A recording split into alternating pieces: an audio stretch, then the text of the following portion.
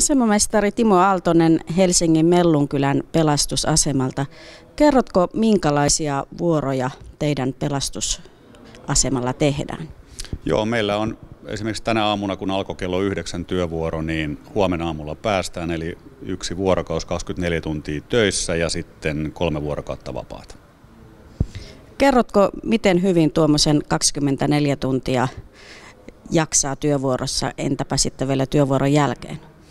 No se toki var, vähän vaihtelee, että riippuu, että kuinka kiireinen työvuoro on ollut, mutta pääsääntöisesti meillä on hyvin kiirettä täällä ja, ja ikääntymisen muuta huomannut sen, että kyllä se jaksaminen vähän heikentyy, mutta kun sitten sovittaa vapaapäivät ja levo ja palautumisen hyvin, niin kyllä sen kanssa pärjää. Kerroit tuossa jo, että eri puolilla maata on tehty työaikauudistuksia nyt palomiesten työvuoroissa, niin kerrotko, minkälaisia kokeiluja on nyt meneillään? No muutamassa paikassa on lähdetty muuttamaan tätä perinteistä vuorokausrytmiä niin, että vuorokaus pilkotaan kahteen osaan ja, ja ikään kuin kaksi vuorotyöstä puhutaan. Ja tota, kokemuksista en osaa muuta sanoa muuta kuin, että kuuluu on, että henkilöstö ei ainakaan ole tyytyväinen ja työhyvinvointi ei ole parantunut.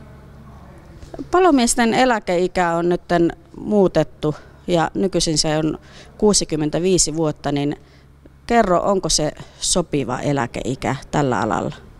No ei, ei missään nimessä ole operatiivisessa toiminnassa olevalle palomiehelle sopiva. Että tota, se tulee olemaan todella pieni pieni osa, jotka sinne asti kykenee pärjäämään. Et työ on niin vaativaa kaikesta huolimatta, että ikääntyminen tuo niin paljon erilaisia ongelmia, että uskon, että se on mahdottomuus sinne asti päästä.